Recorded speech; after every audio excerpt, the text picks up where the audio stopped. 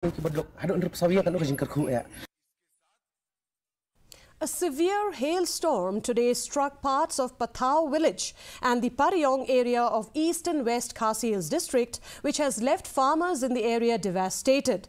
The storm has caused extensive damage to crops and agricultural produce.